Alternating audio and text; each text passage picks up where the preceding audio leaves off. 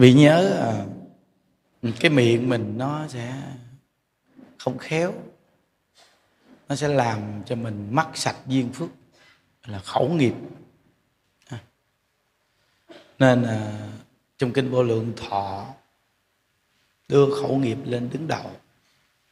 Nhớ giữ khẩu nghiệp không nói lỗi người.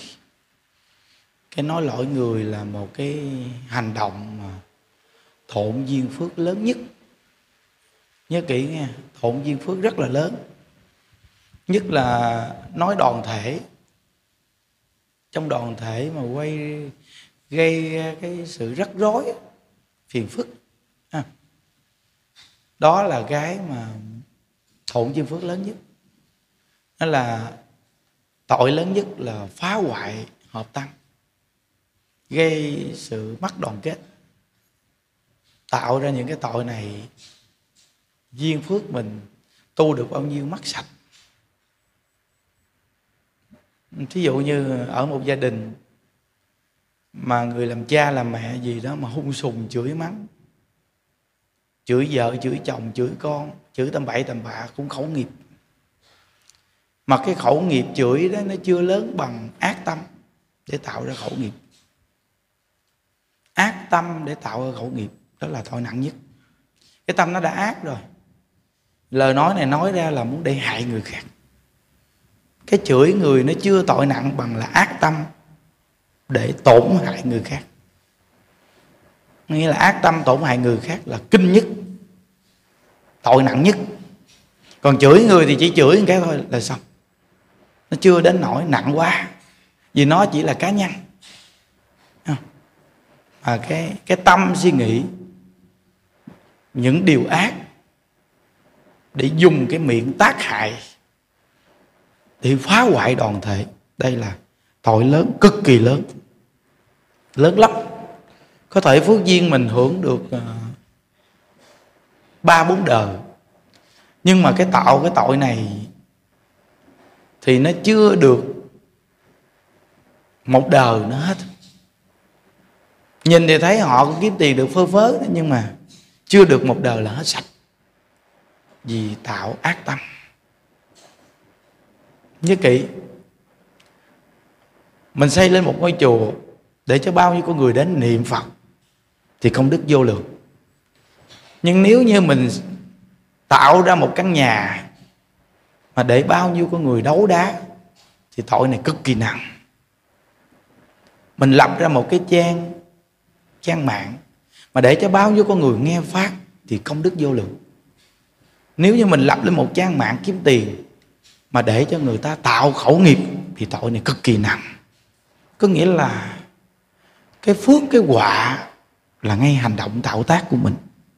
Nhớ kỹ, cái nhân, cái quả là giữa hai con người đến với nhau nhân quả. Nhưng cái sự tạo tác của hành động mình mà tác hại nhiều người thì đây là tạo ác tâm, ác nghiệp ghê. Kinh khủng lắm. Nên một con người niệm phật á, thường dùng cái miệng niệm phật nó hay dữ lắm.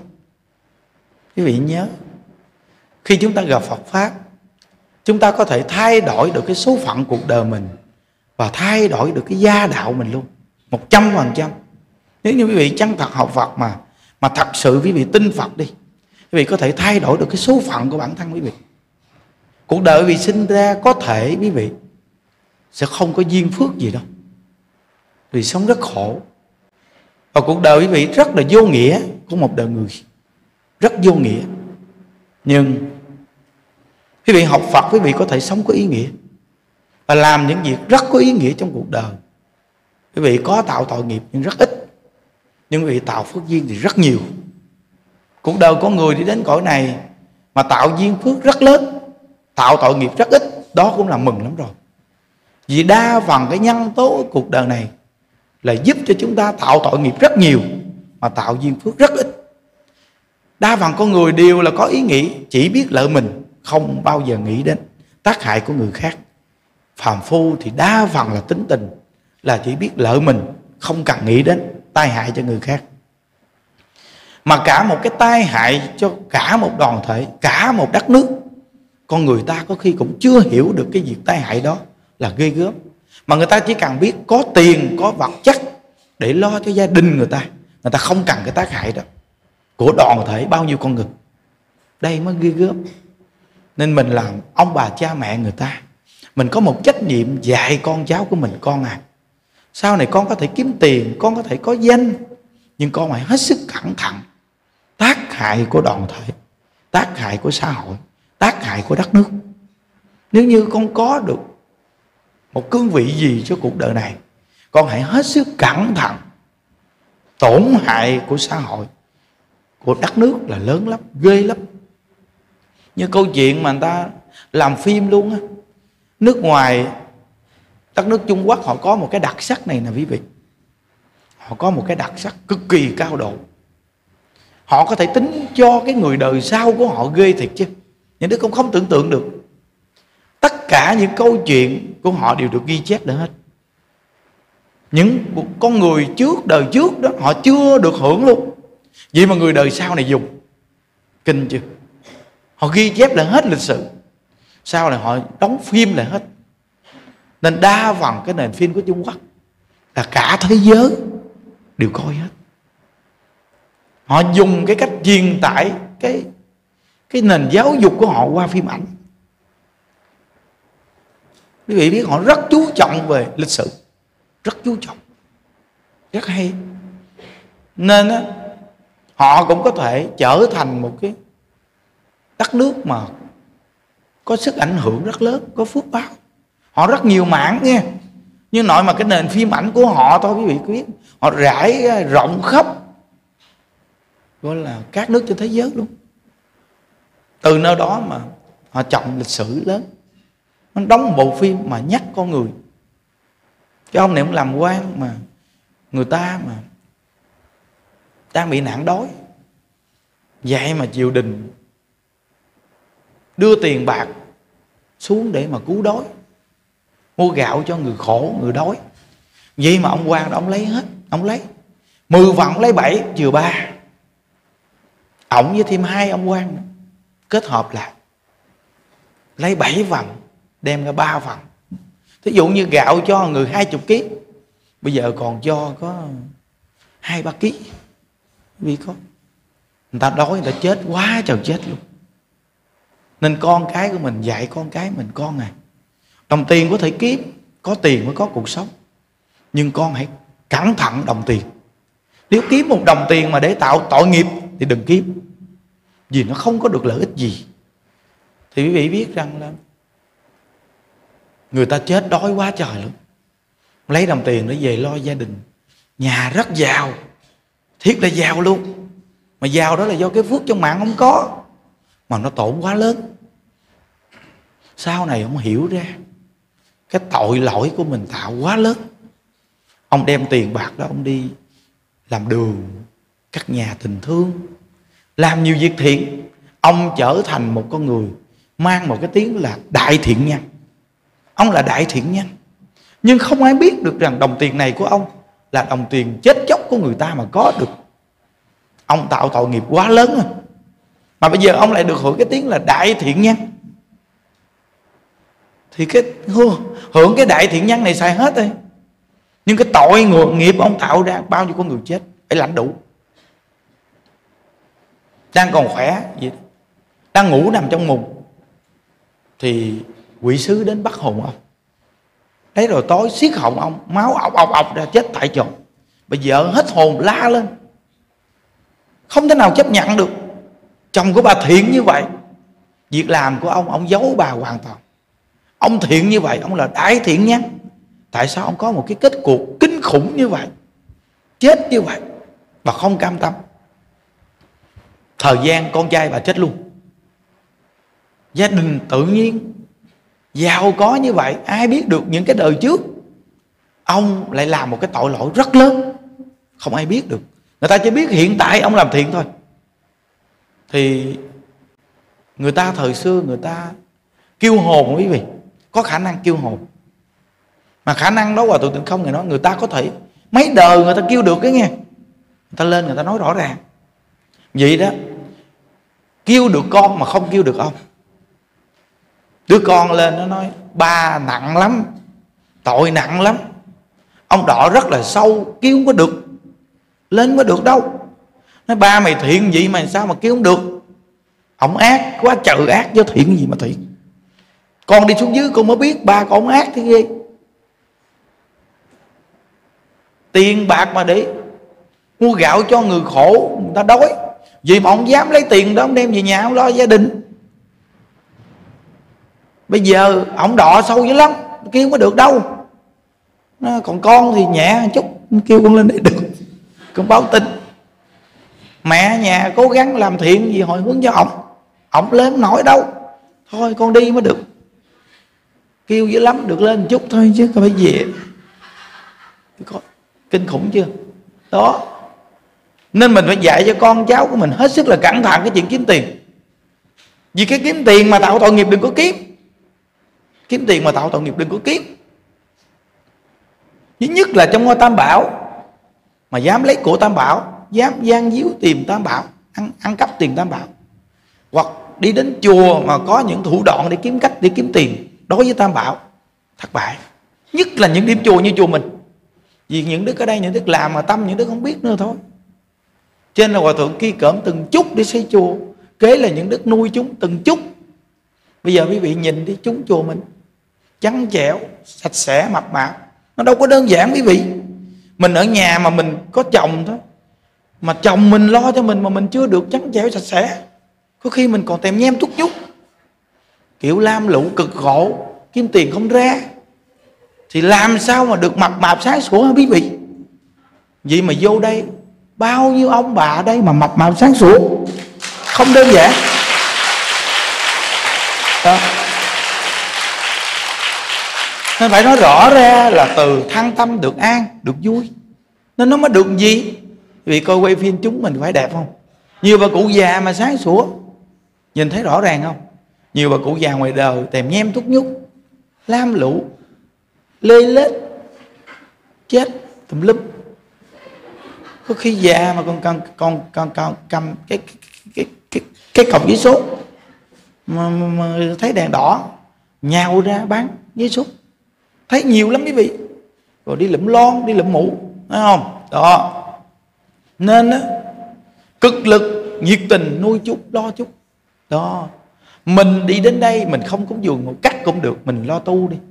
Chứ đừng bao giờ có một cái quan niệm. Đi đến đây mà tìm cách này, cách kia kiếm tiền, không có hay đâu. Còn làm là phải làm cho nghiêm túc đàng hoàng. Làm cho đúng thì nó mới tồn tại. Từ đó tới giờ mười mấy năm, những đức ở trong chùa, những đức biết trong ngôi tam bảo mà mình nghiêm túc đàng hoàng con người làm thì phải có tiền lời, nhưng phải làm cho đàng hoàng. Mình mà đàng hoàng rồi, duyên phước mình nó tăng lên. Mình không có thiếu thốn đâu.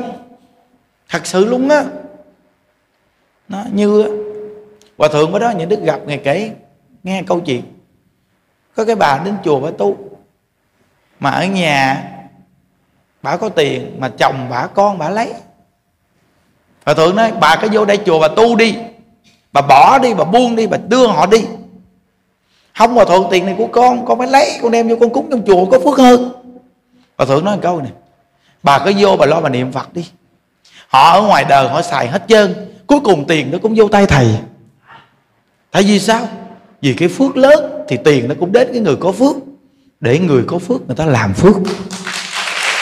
Thấy không? Bà cứ lo bà tu đi. Cái kiểu giành việc đấu đá có cơ hội đi tu tu đi buông ra đi. Phước trong mạng mình vẫn là phước trong mạng mình à. Còn họ cầm được là do họ có phước không mới cầm được. Còn mình đi tranh giành mình giật với họ để mình đem vô chùa thì mình cũng không độ được họ mà họ còn quay mặt trở mặt quay lưng. Họ nói rằng đó, đó, đó, đó, đó, đó, đó, đó. đi vô chùa sách tiền vô chùa họ để đánh giá Phật pháp tội họ càng nặng hơn. Thà để cho họ đi họ xài xong rồi, tiền cũng quen dòng cũng đem vô chùa. Tại vì mình làm việc thiện thì phải có tiền để làm việc thiện. Nên đã làm việc thiện là cứ yên tâm đi. Đã làm việc thiện là sẽ có à. Mình mà càng làm việc thiện càng lớn chừng nào, thì phước báo mình càng lớn chừng nấy. Vì phước mình trồng từng con người, bao nhiêu con người, nhăn rộng nhăn rộng nhăn rộng nhăn rộng ra, thì phước mình càng lớn lên. Nói quý vị biết rằng, như chùa mình mà người ta đi đến chùa mình nói người ta cầm đèn bông sen thôi, quý vị thấy chưa? Ta cầm đèn bóng sen mà người ta quơ lên một cái thôi. Mà bay dù dù dù dù dù để bóng sen. Quý vị coi. Mà khăn trong chùa mà tặng đó quý vị coi. Người ta chọn khăn một cái thôi mà quý vị nhìn như hoa sen vậy.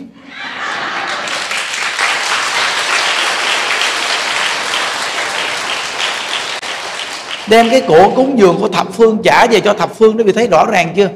Làm bằng tặng đáy lòng những đức quanh năm suốt tháng vì thấy như đức đi chơi đâu. Cà phê như đức còn chưa uống. Thấy không? Nên từ nơi đó mà ăn uống hai buổi cơm, bây giờ ăn hai buổi cơm, buổi chiều khỏi ăn. Chơi gì nữa giờ? Nên từ nơi đó, thật sự, người ta cúng dường là để xây chùa, để nuôi chúng, nuôi các cụ, lo cho các cụ. Chỉ cần các cụ bình yên là được rồi. Nên cái việc mà mình ở trong đoàn thể, cẩn thận cái khẩu nghiệp nghe. Khẩu nghiệp ghê lắm á, dễ lắm, dễ tạo vì cái nhân tố của người, người ta lỡ nói cho mình nghe. Nói này nói kia nói nọ nói cọ nói cây nói nói bay nói nói nói tùm lum tùm la. Nó nói rồi giết mình cái nhân đó mình theo mình nói theo. Nó nên bữa đó những đức nói chuyện với mấy cô đức nói một câu rất là hay. Mình ở trong chùa ban bệ đừng có bao giờ tưởng đâu mình làm gì là mình giúp người cái chừng mình hại người đó ai chỉ cần mới vô nhóm của mình làm việc là bắt đầu mình nói em là chị biểu. Có gì không chị. Em phải biết chỗ đông người không đơn giản nghe không? Phải cẩn thận. Con nhỏ cao cao đó đó nó không đơn giản đâu. Con nhỏ mập mập đó đó cũng không đơn giản. Con nhỏ lùng lùng đó đó không đơn giản. Cái thằng đen thui đó, đó không đơn giản? Chị chỉ em rồi đó. Những con người đó không đơn giản em phải cẩn thận nghe. Quý vị hại người chứ giúp người gì? Người ta mới đi vào trong chùa quý vị dạy người ta là dạy tin sâu nhân quả. Quý vị đi chỉ những con người à, cái cái con người dữ này dữ kia để cho người ta bị bị bị bị, bị lo bị sợ. Người ta bị bất an. Người ta giống như người ta luôn luôn cảnh cảnh giác người ta cảnh giác thì người ta sẽ bị lo âu. Và người ta trở thành trở thành cô lập. Quý vị không phải giúp người ta mà bị hại người ta. Đúng ra người ta vô cái ban mình, quý vị phải nói một câu. Cái gì em không hiểu phải hỏi thầy. Em phải tin sâu nhân quả. Em đã phát tâm tu, em phải tin nhân quả. Con người làm không phải, người ta chịu không phải. Người ta làm đúng, được hưởng đúng. Làm sai, chịu sai. Phải tin nhân quả. Từ cái tâm mình có ác hay không?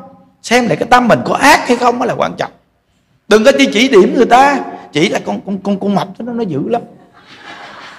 Con ốm nó, nó dữ. Con lùng đó con lùng nhỏ xíu đó. Không vừa gì đâu nghe chưa? Nó còn ông thầy đó nó không phải đơn giản. Và sư cô đó không đơn giản nghe. Nó còn con nhỏ què lết đó nó không không vừa. Quý vị đi nói điều đó làm gì à? Nói điều này là vì hại người ta đó. Vì làm cho người ta bị bị bị bị, bị bất an bị sợ và đi cảnh tỉnh. Đi, đi đi cảnh giác không phải cảnh tỉnh mà cảnh giác á. Đi cảnh giác hoài. Mà con người quý vị cứ là lo lo lo lo lo hoài là giết quý vị sẽ bị cô lập. Để cho người ta bị la bị gầy. Để người ta trải nghiệm đi. Để người ta bị dằn vặt đi để trải nghiệm. Con người thành đạt trong cuộc đời không ai mà không bị dằn vặt hết nên trong thái thượng cảm ứng thiên có câu dạy rằng, ông chờ muốn giao phó cho người một công việc, thì phải làm cho người này lên bờ xuống ruộng, chịu đắm ăn xe. Ăn xôi là còn ngon. Ăn xe là bị xe đụng mới hiểu chưa? Chịu đắm ăn xe. Cái câu này câu mới nhất. Quý vị coi những bậc lãnh tụ đi của thế giới đi. Giống như ờ, Trung Quốc có một vị hiện tại đứng đầu đó. Ông là một vị là mệnh danh là người đàn ông có uy quyền nhất. Uy quyền quá lớn. Uy quyền quá lớn. Sự cai trị của ông qua mấy nhiệm kỳ vẫn còn giữ. Khi mà những đức coi công đoạn mà đọc lịch sử của ông gian chung lắm, không phải đơn giản quý vị ơi. Ông cực kỳ gian chung gian chung luôn ông chịu khó, chịu khổ, kinh khủng luôn. Ông mới trở thành một con người bây giờ. Không ai ngờ được, cậu bé năm xưa là một con người gian nan vất vả, vào tù, tội, khổ sở. Mà bây giờ lại là một người đàn ông có quy quyền rất lớn của thế giới. Kinh khủng không? Không ai tưởng tượng được luôn á. Đó khi mình mà coi lịch sử mình có những câu chuyện gì mình nói à thì ra là thế gian cũng phải bị rèn luyện lên bờ xuống ruộng chịu đấm ăn xe. Đúng không? Vậy thì sức thế gian càng dữ hơn. Nhưng đức hỏi bị tu hành mà mà không bị trở ngại không bị bị này bị kia không bị bị bị, bị người ta trù dập thì làm sao bị làm phật? Quý vị coi đường tăng đi thỉnh kinh mà quý vị coi bao nhiêu cái nạn như vậy mà đã thỉnh kinh rồi. Phật tổ như lai bấm tay. Thấy. Còn một nạn vậy mà phật tổ như lai giơ tay lên. Dù. Vì mà đang bay, bay trên mây mà té một cái rầm ước kinh cho quý vị thấy hả? Nó quý thấy cái nạn đó không? Còn một cái nạn phải trả đấy mới chứng thành phật đạo. Mình tu hành mà muốn giảng sanh, mà mình không bị, mà không ở trong trở ngại mà vượt ra. Quý vị muốn bình thường đi trên ờ, giống như mình đi trên niệm mút hiểu không? Không lẽ quý vị lúc nào cũng muốn ờ, quý vị mà gọi là ngon lành, quý vị sống cho nó thoải mái, mà muốn làm phật không có đâu. Không có dễ gì đâu muốn đạo phật đâu có dễ ăn. Thấy không? Nó phải chịu khó chịu khổ chịu bao nhiêu sự thử thách. Bây giờ quý vị coi những đức nè cái cái cái, cái tâm những đức. Nuôi bao nhiêu con người gì đó mà quý vị coi bây, bây, bây giờ nhiều người người ta cũng chửi như đức te tu mà tiền những đức mà mà mà được cúng dường những đức nuôi cái cụ đó rõ ràng đó. Như đức có ăn giọng gì đâu. Quý vị coi người ta đọc một trăm phần trăm. Không lẽ bây giờ từ sáng thức dậy bây giờ làm cho tới chiều luôn. Không lẽ bây giờ ăn mấy buổi cơm cũng không được nữa chạng hiểu không?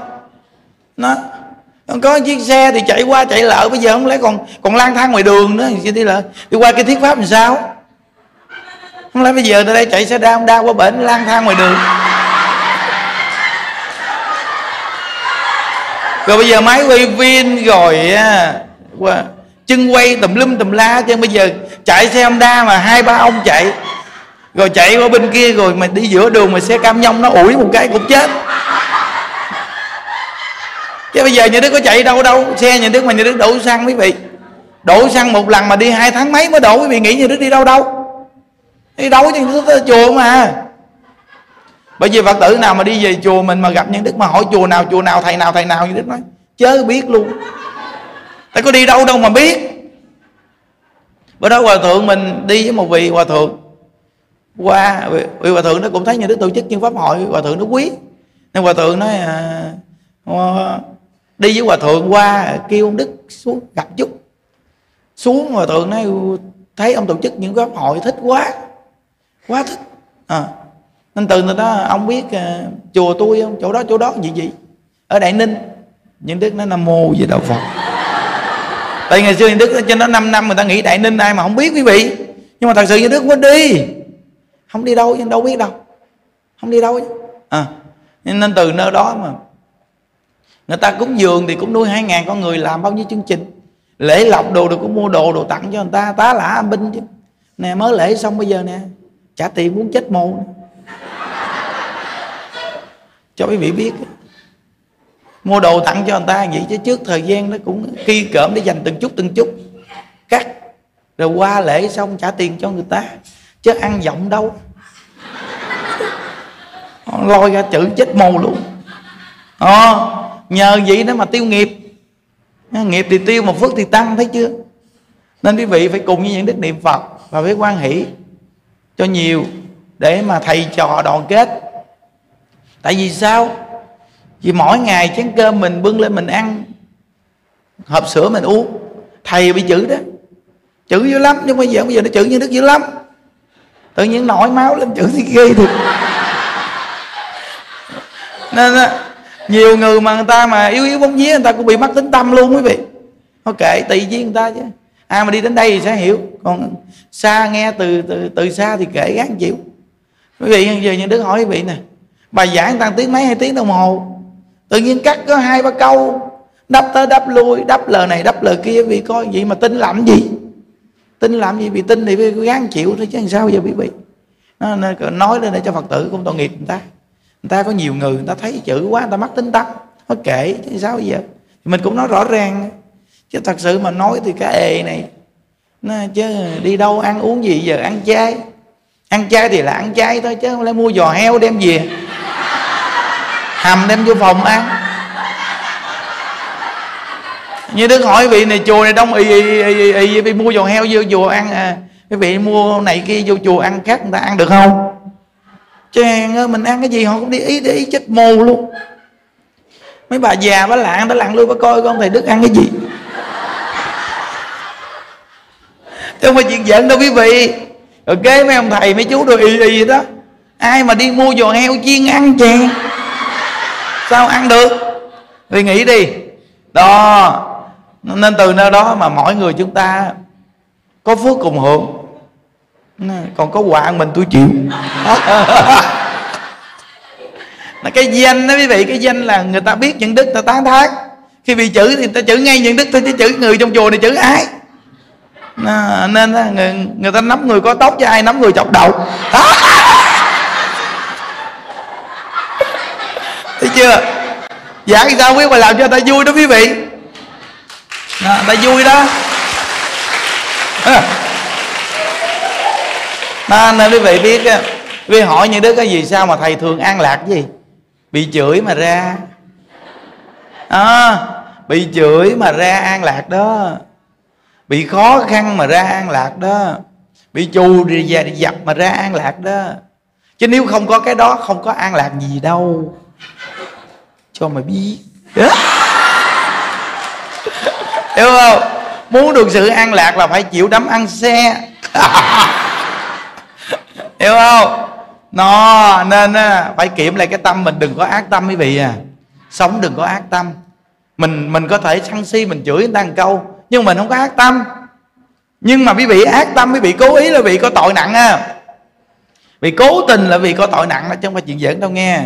Thí dụ như mình lỡ cái gì mình sai, không có trách, nhưng mà vì cố tình, quý vị làm sai cho bằng được, là quý vị ác đó.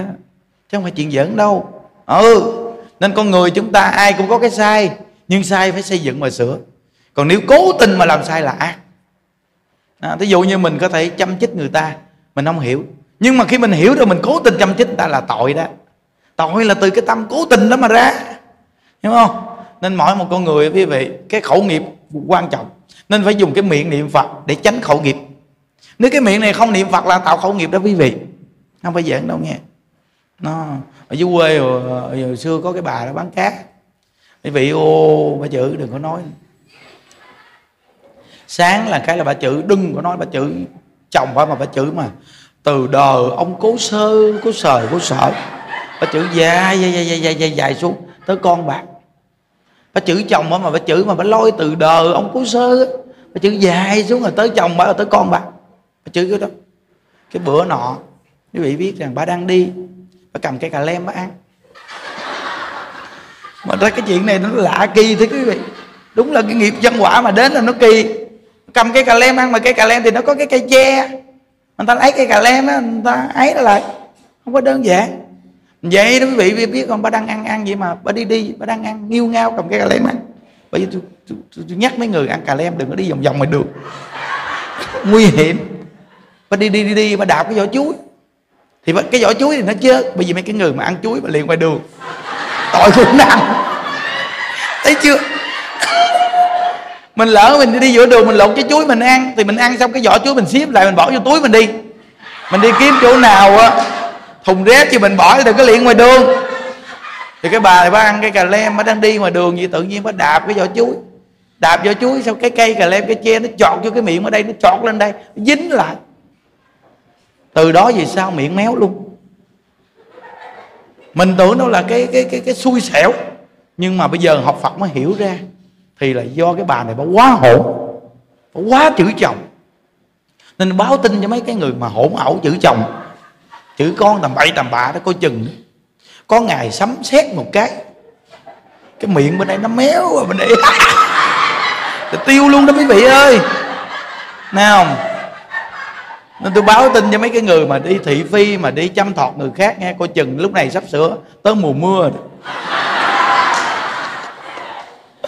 mùa mưa, mà những cái người đó, người ta sợ đi ra mưa lắm quý vị. Cái người mà sợ sấm sét là cái người tâm ác. Còn cái người mà tâm thiện ai sợ sấm sét? Những đức mà ra ngoài chờ xét cái nào xét những đức cũng đi ngoài chờ có gì đâu sợ. Những đức có làm gì đâu mà những đức sợ ông trời đánh những đức. Cái người mà bắt hiếu với cha mẹ, bắt hòa với anh em, tính toán với anh em từng chút, so đo tính toán với người. Có chừng nó mưa tới rồi đó hiểu không? À, không có chuyện giỡn đâu. Với mấy cái người mà dùng lời thị phi đó, coi chừng đó mưa đó. Ông chờ ông đánh ngay cái sợi dây á nhờ sợi dây méo. Ông đánh một cái là à, ngủ một đêm ngày mai sáng mai tự nhiên à, là biết rồi đó nghe đừng có nói xui nghe quý vị. Ừ đừng có nói xui nghe. Mà lỡ bị vậy rồi niệm phật đi là cái miệng hết méo à trong chùa có bà cụ ở mắt rồi đó bà cụ méo á. Bà bị méo miệng. Nhưng đức nói bà là nhiều đời nhiều kiếp với bà chửi chồng bà chửi cha mẹ đến nay miệng méo. Nên báo tin cho những người bị miệng méo. Đời này không chửi người nhưng những đời trước chửi quá nên đời này miệng bị méo. Vậy thì đời này phải niệm phật để cái miệng đừng có méo. Hiểu chưa? Niệm phật đi nó, nó, nó chuyển thần kinh. Còn hết hồn. Đúng là không vỗ tay mà vỗ tay cũng bị hết hồn quý vị hiểu không? Đó. Nên từ nơi đó nghe, mình nó cẩn thận cái khẩu nghiệp nha quý vị. Cái khẩu nghiệp nó ghê lắm á. Nó phá sạch. Từ cái cửa miệng tạo phước duyên mà cũng từ cái cửa miệng phá sạch phước duyên luôn. Mình đi vô chỗ làm mà ta mà mình chăm chích người này người kia để cho rối nội bộ người ta là ác. Rối nội bộ là ác. Mình chăm người này mình chích người kia là ác. Còn trong chỗ tu hành mà chăm chích người ta là tội lỗi ác ác cực ác luôn. Nó, quý vị biết rằng mình có phước mình mới ngồi bàn với người có phước. Còn mình mà vô phước, mình ngồi bàn chỉ gặp ngay cái bà la sát, cái bà ba trợn là quý vị biết cái duyên phước nhiều đời, nhiều kiếp quý vị cũng có vấn đề chứ không phải chuyện giỡn đâu. Có cái cô đó cô, bà ngồi ăn lẩu. Chung với cái bà này mà bảy bà ngồi chung với một bà. Mà chàng ô, cái bà đó bà ba trợn trên trời dưới đất thì bảy cái bà kia lỡ gặp nhân đức nói, thầy thầy, bà này trong chùa ghê quá, bà trợn quá, hung dữ quá mà điên điên cùng khùng gì kỳ cục. Nhân đức nói, chắc nhiều đời nhiều kiếp, bảy bà cũng ba trợn với bà này đó. Giờ bây giờ ngồi ngay cái bàn gặp bà ba trợn. Nó có nhân có quả quý vị ô hiểu không? Chứ thật sự mình đi cùng với một chiến thiện mà con người ta toàn là dễ thương không? Thì bị có duyên phước. Mình gặp người dễ thương của mình gặp nó mình đâu có tức. Mà mình gặp người dễ ghét là mình cũng vô phước á. Tại mình gặp người dễ ghét là mình dễ tức. Mình dễ tức thì mình dễ sân si. Mà sân si thì tổ tổ duyên phước. Nên mình mà gặp người dễ thương là mình có phước. Còn mình gặp người dễ ghét là mình thiếu phước, thiếu duyên. Cẩn thận đó, nên tôi cũng nam mô như đạo phật. Mong rằng gặp được những người dễ thương dễ dạy hiền hậu. Gặp một cái là thấy thích chứ đừng có gặp mấy cái người hung sùng. Thấy không? Phải không? Mình thiếu duyên thiếu phước mình gặp cái người hung sùng bên cạnh mình. Mà gặp người hung sùng là tiêu tiêu điều luôn cho mà biết hiểu không? Tiêu điều luôn cho mà biết à, nên quý vị biết rằng mình tập đi quý vị nhân đức nghe cho gì vị biết á, dù nhân đức cười cũng có duyên đó vì vị. Đi nhìn cái mặt nhân đức không có duyên gì đâu. Nhưng mà vị biết rằng những đức mà mà mà, mà đi qua bên kia bên nghe đi lên lầu nghe đi lên trên lầu chánh nghe mà nhìn qua chánh điện nghe. Nhìn qua chánh điện duy mà những đức đứng ở bên đây. Vô duyên. Kỳ cục. Chưa từng thấy ông thầy nào kỳ cục vậy luôn. Ít có ông thầy nào mà tự nhiên gặp phật tử mà chứ không mình nhìn đức là thấy nó vô duyên, vô dụng thôi mà kệ tôi tôi vậy đó. Tôi thích cười được không? Tôi gieo cái nhăn nhiều đời, nhiều kiếp, người ta gặp tôi, người ta cười. Chứ mình văn gieo cái nhăn tốt mình đi đâu mình cũng.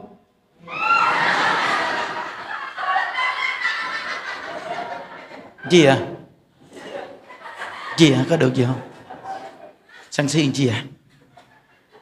Không, lãnh đạo lãnh đạo phải gì? Có cái có cái chú ông lậu gặp nó nói thầy thầy thầy bây giờ chùa thầy quá đông. Mà thầy mà gặp mà phật tử mà thầy cười cười đồ phát tay chào đồ đừng có gì. Thầy nên tập là chắp tay đi.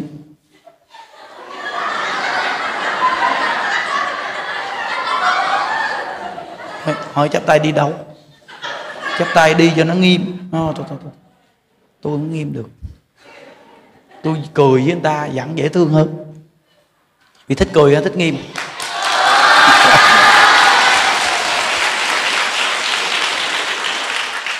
Thí dụ như giờ cái miệng mình nó bị méo đi. Cái miệng bị bị méo đi. Thì gặp người ta. Thấy người ta vẫn dễ thương hơn. Dù đó là méo rồi đó. Mà mình còn cười nữa, thì bị coi, gieo cái nhăn lại mà nhờ cười nghe cái tế bào méo đó từ nó bị co giãn với từ từ cái, cái, cái bị biết rằng là cái cái cái cái sợi dây bị cứng mà. Thì cái nó cứng nó miệng nó bị méo nó gịch qua mà. Mấy cái người mà miệng méo nhìn là quý vị đa bằng đa bằng là bị quan gia gịch ví dụ như cái miệng gì đi cái miệng bình thường gì đi nhưng mà khi bị méo nghe là quan gia nó gịch qua đó. Chứ không phải đơn giản đâu nghe. Bị cười nghe thì quan hệ giết đi. Là quan gia thấy bị vậy, người ta buông ra cái miệng bị trở lại. Bình thường, đúng không? Tại sao bị không cười đi?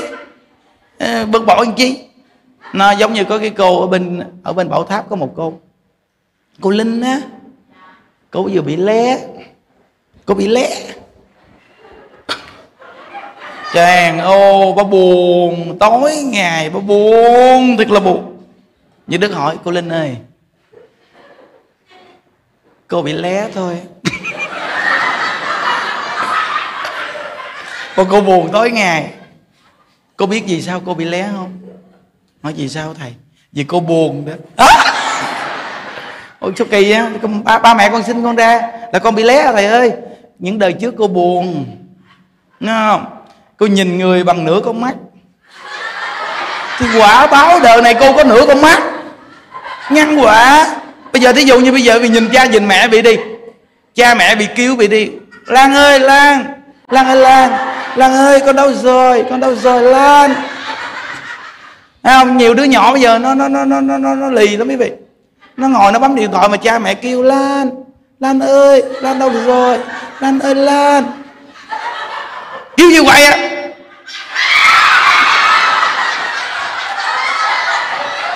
Thấy không? Đó đó đó đó, đó cái quả báo đó đến lúc đó nó còn nó lé đó. Nè quý coi nè. Kêu quay á. À, thấy chưa? Hoặc là gì nghe nhất là cái này nè còn ác nữa nè cha mẹ mình la tới nha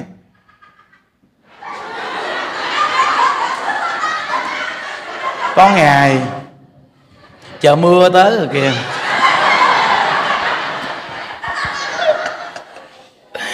Thấy không? Nó cẩn thận nghe mấy đứa con. Nha, mấy đứa nào mà nó hộ với cha mẹ mà nghinh cha nghinh mẹ coi chừng nó nghe chưa? Còn đứa nít nào mà không ngoan nghe là không được dễ thương đâu đó cho mà biết. Nên từ nơi đó mà quý vị biết rằng à, con người mà sống mà an lạc vui vẻ nên như đức nói cô linh như đức nói. Từ hôm nay cô vui đi cô linh. Bây giờ cô mới có lé con con mà cô buồn cô lé con nữa đó. Sao, sao mới nói ủa thiệt hả thầy? Sống thiệt. Trang hết trang đời trước cô buồn nên cô giờ cái đời này cô lé con bây giờ mà cô mà buồn đời sau cô lé con hai con lé luôn. No vậy từ hôm nay cô vui. Quý vị ô bây giờ mỗi ngày bác cười quá cho cười. Bác cười thiệt là cười tự nhiên bác cười bả vẫn còn lé. Thì lé mà giờ cười nó cũng lé. Chứ lại cười nó lé quý vị. Nè, cái câu sau này mới quan trọng nè. Đừng có dội vàng cười người ta. Bà cười mà vẫn lé, nhưng mà bây giờ bà thành lé duyên mày thấy chưa? Bây giờ bà lé duyên rồi. Lúc trước bà là lé vô duyên nó quý vị thấy chưa? Đã là lé rồi mà còn người ta kêu hai chữ vô duyên nữa. Lé còn vô duyên, còn bây giờ người ta kêu lé duyên. Nó, lé duyên này vẫn ngon hơn. Như quý vị coi những đức á, nhiều người ta kêu những đức là hồ duyên. Nó thấy chưa, quý vị thích thấy chưa, người ta kêu hô. Hô là chết mồ ta kêu hô duyên. Đó, thấy không? Nên cái gì mà có chữ duyên vô là ngon? Gì mà có duyên là ngon à? chồ mà chuẩn bị nó nấu chè viên á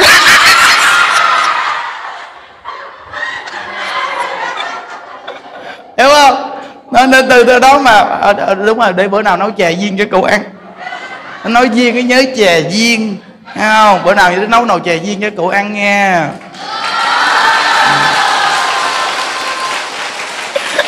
Nên quý vị biết rằng là cái duyên là ngon lắm quý vị. Cái gì mà có duyên là ngon à?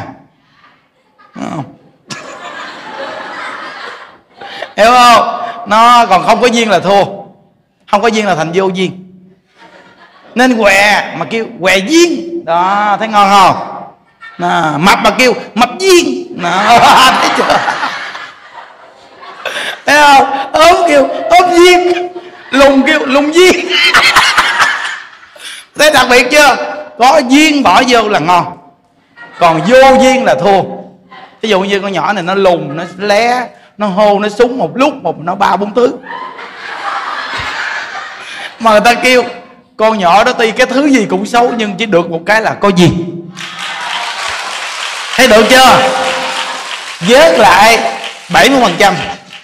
Còn con nhỏ kia nó cao nó đẹp nó đẹp nó đẹp nó đẹp nó đẹp đẹp đẹp đẹp đẹp, đẹp còn hơn cái gì? Nhưng mà chồm sớm láng giềng nói con nhỏ này đẹp mà vô duyên rồi xong luôn thí dụ như bây giờ ai mà có vợ đi, vợ là mình mắc mặt nhất là gì? Cha, mẹ mình, anh em mình nói một câu. Long ơi. Thí dụ câu này giả thiết rồi chứ không phải thằng long nào chứ nghe. Long ơi, vợ của mày đẹp mà tao thấy vợ mày là cái vô duyên vô dụng, rồi xong luôn. Mắc mặt không quý vị? Thí dụ như bây giờ quý vị đi theo những đức học đạo đi mà bây giờ người ta gặp những đức, người ta gặp quý vị, người ta nói, ôi, sao đi theo ông thầy vô duyên quá vậy? Thấy cũng mắc mặt lắm, chứ không phải giỡn đâu. Nhưng mà những đức có xấu gì xấu, nhưng mà người ta nói, quý vị theo ông thầy đức đúng, ông thầy có dễ thương. Không, là thấy được rồi đó thấy chưa? Đó đúng không? Mà mà quý vị thấy gì, đức dễ thương không?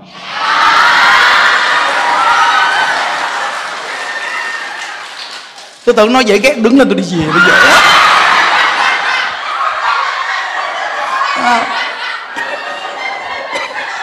nhiệt tình như mà nói thầy dễ ghét tôi mệt tôi đi về đó hiểu không? Buông ra đừng có cản tôi đi về. Thấy không? Được đó. Không? Nên từ nơi đó quý vị biết rằng có duyên là cái quan trọng. Cực kỳ quan trọng là phải có duyên. À, mà người niệm phật phải có duyên mới niệm phật. Đức phật a di đà cái duyên này dày lắm tặng hư không có pháp giới luôn mình là đệ tử hoặc a di đà là mình phải có duyên. Thấy không? Mà muốn có duyên thì phải làm sao? Ờ đúng rồi có duyên phải niệm phật. Mình niệm phật là nhân mà cái vui vẻ quan hỷ là quả. Nếu như niệm phật mà cái mặt vô duyên cũng không có duyên luôn. Bây giờ mình niệm phật tối ngày mà ai di đà phật ai di đà phật ai di đà phật ai di đà phật ai di đà phật ai di đà phật ai di đà phật, ai di đà phật anh di đà phật anh di đà phật anh di đà phật anh di đà phật anh di đà phật anh di đà phật anh di đà phật anh di đà phật anh di đà phật anh di đà phật anh di đà phật thì đức hỏi quý vị niệm thì lúc niệm thì nghiêm túc đúng không quý vị lúc niệm thì rất là nghiêm túc nghe nhưng bước ra ngoài cái là ai di đà phật là có duyên đó còn kiểu mà tôi siêng niệm phật lắm khỏi đời này khổ đau không có gì phải cười cõi đời này quá nhiều thứ khổ. Cười gì? Không có cười để tôi niệm phật. Đừng có làm động tâm tôi. Để tôi cười không có cười nữa. Ai di đà phật ai di đà phật ai di đà phật. Niệm cái kiểu đó ta gặp mình ta chạy mắt dép luôn dù là siêng tu, nhưng mà đang ngồi niệm phật. Ai di đà phật ai di đà phật ai di đà phật ai di đà phật. Ngoài kia kêu ken ken ken cái gì hả? Dạ thứ gì đâu á? Đây, ta đang niệm phật mà lớn ôm sầm mua đi kia ra kia kia kia kia kia để niệm phật nghe không? Ai di đà phật ai di đà phật ai di đà phật ai di đà phật ai di đà phật. Bên kia nó bắt nhạc. Thập trình thập trình thập trình thập trình thập trình dạ. Chàng ơi bên đây niệm phật mà bắt nhạc ôm sao bên kia chứ đó? Cái nhà này tội lỗi chết mồ cái nhà này nè thứ cái nhà gì đâu á? Chờ đánh còn tránh bữa ăn. Ta niệm phật mà còn bắt nhạc không sụp tắt nhạc ta niệm phật. Ai vừa đọc phật, ai vừa đọc phật, ai vừa đọc phật, ai vừa đọc phật. Thua rồi đó. Quý vị nghe gì nó xác thực đó nghe quý vị. Người ta đập sàn sàn gì ta bắt nhạc kệ người ta. Còn chuyện mình niệm phật là chuyện của mình niệm người ta thích bắt nhạc bắt đá banh gì chuyện của người ta. Còn chúng ta niệm phật là cái chuyện của chúng ta. Dính dáng với chuyện đó. Gì đó. quý vị coi câu ờ, chuyện nghịch duyên không? Cái bà niệm phật mà trốn chồng bà mà mà mà mà, mà bà đang niệm phật kia ông cầm nguyên con cá đến cái bắt bà đi bằng cá đi có phải không? Vậy mà bà cầm con cá đi bằng cá lo cho chồng. Không có một lời nói gì nặng nề khó chịu thấy chưa? Đó mới là người niệm phật người niệm phật phải là như vậy đấy. Đúng không? À, niệm ra cái duyên là cái quả là như vậy đây là con người dễ tính. Niệm phật ra một con người dễ tính. Một con người không có chấp nhất nặng nề không khó tính không có bắt bẻ người ta bị ác lắm. Vì đã bắt người ta rồi bởi vì còn bẻ người ta đã chịu như đâu? mà như đức đó vì rất là ác. Tôi nói là mấy cái người mà đi bắt bé người ta là ác dữ lắm. Tại vì sao? Mình bắt rồi, mình còn bé chịu gì nói thôi nghe, lỡ bắt thì tha chứ đừng có bẻ kia ác lắm. Hiểu không? Nên nên mình. Vì thấy bởi vì nhiều người mà người ta gặp những đức mà giảng pháp á, mà những đức cười quá, nó nói sao thầy này ông giảng cười quá. Bởi vì tôi nói khổ ghê. Quý vị biết rằng là thường ngày người ta không có cười, nên người ta không có chịu nổi cười. Thường ngày mà mình mà không cười mình chịu không nổi. Quý vị ơi, trong cuộc đời này mà không cười sao chịu nổi quý vị? Đúng không?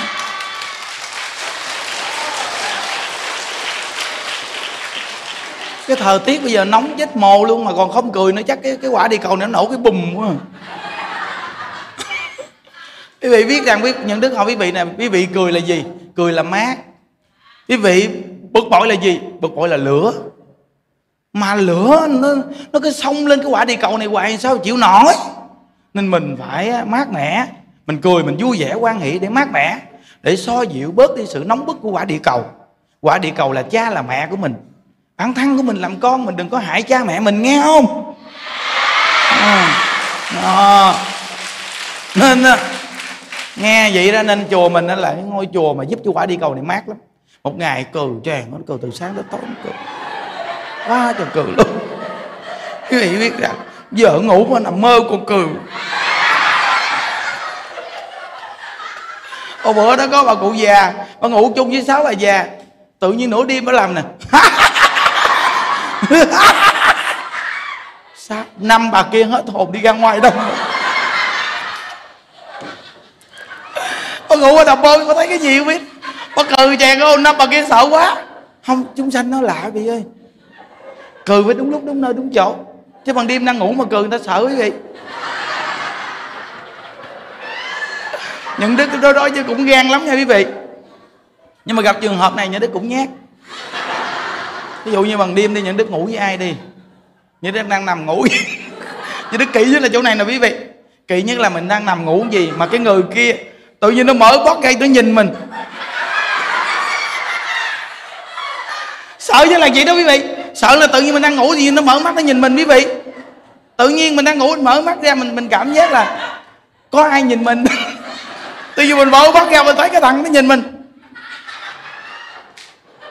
Xong mình sợ quá, mình lấy cái mền mình. Mình đẩy mắt mình lại vậy đẩy xong cái mình mình kéo mền xuống. Sợ lắm quý vị ơi. Sợ đang ngủ ban đêm mà tự nhiên nó lỡ nó nhìn mình mình sợ chết mù luôn quý vị. À nhìn lúc nào thì nhìn chứ cái giờ nó sợ lắm. Nó hồi đó mà đi làm á, có cái thằng nó tên thằng phai. Thằng phai, nó trắng tươi à nên mẹ nó đặt tên nó tên thằng phai. Quý vị biết nó là phai mì phai mì chứ phai lan thì nó đỏ quét à mà phai mì nó chắc. Không? Quý vị biết rằng là nó với mình nằm ngủ kế bên, nửa đêm là nó cứ nhìn nửa đêm là nó cứ nhìn mình chăn chăn như này. Cuối cùng mình sợ của mình mình quay cái đầu về cái chân của nó. Tại vì nó nhìn mình sợ quý vị. Mà kỳ cục lắm. Nó nhìn mình một chút, tự nhiên nó hung mình cái chục nó. Thật thật này sao kỳ cục cái chán nhìn chút tự nhiên hung cái chục kỳ cục cái thôi, tôi sợ quá. Cuối cùng mình quay cái đầu mình qua cái chân nó mình ngủ. Cuối cùng lấy cái chân nó ôm cái đầu mình chặn. nên từ nơi đó quý vị biết rằng cái gì chứ nhìn chăn chăn cũng sợ lắm. Nên cái bà cụ già kia thôi bà cụ bằng đi bà đừng có cười nữa bà cụ. Bà cười viết năm bà già kia ngủ mới được đi ra ngoài không à. Bà, bà, bà vui viết không biết làm sao. Cái tự nhiên nửa đi mới đang ngủ mới làm nè. Ai ai ai mà dám quý vị? Ai mà dám nằm ngủ chung với cái người gì? Bà mà cười nữa là tôi đưa bà lên trên sân thượng rồi lên cho đó mà cười như sao biết chưa? Cười ghê quá quý vị ơi thấy không? Bây giờ giờ này cười được nè. Giờ này cứ cười đi. À, cứ cười đi thoải mái đâu gì đâu. Đúng quý vị. À, à. nên tại sao mà thứ bảy chủ nhật ta về chùa mình đông gì cười? Cười nhiều thì ta về chứ sao? Chứ về đây mà nhăn mày nhăn mặt về làm gì? Không? Về đây không tốn tiền mà còn được cười.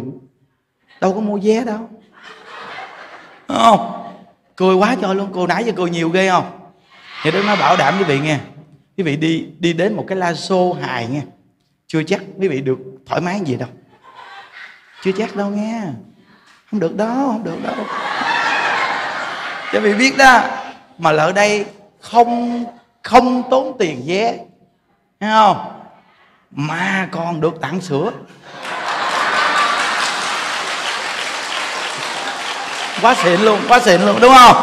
À, đây là quý vị là những con người có phước những con người dễ thương những con người có duyên mới được ngồi ở đây. Và những con người đã coi trực tiếp là đang có duyên. Còn có những người không coi thì ai biết đâu họ nói gì nữa chứ. Không đó những người đang coi trực tiếp chương trình này đang có duyên quý vị đang ngồi đây là đang có duyên. Và chúng ta đã có duyên rồi thì chúng ta cố gắng gầy dựng đi về thế giới cực lạc nghe à, nhớ nghe quý vị chúc vị an lạc vị ơi. Ai về đào vợ? Đừng có buồn giận ai để trong tâm nghe quý vị. Đừng có dùng khẩu nghiệp tạo nghiệp nghe. Thôi cái miệng cười cái coi nè. Cười thêm cái nữa coi thêm lần nữa. Thôi hồi hướng nghĩ nguyện đem công à, đức à, này hướng về không à, tất cả để từ và chúng sanh. Về thịnh độ chúc vị an lạc nha. Hôm nay ngủ ngon ai với đầu phật